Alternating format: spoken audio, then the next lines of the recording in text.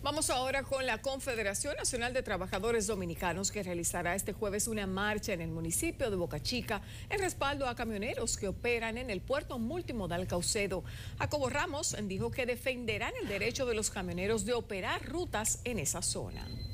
La CNTD anuncia que organizaciones de la comunidad de Boca Chica, dirigentes políticos y otros eh, municipios y organizaciones de la comunidad del municipio van a apoyar al sindicato en su propósito de continuar eh, desarrollando las actividades comerciales que desarrollan en Boca Chica como un derecho adquirido que tiene el sindicato. Anuncian que también darán apoyo a los controladores aéreos que fueron cancelados del Instituto de Aviación Civil. Recuerde que usted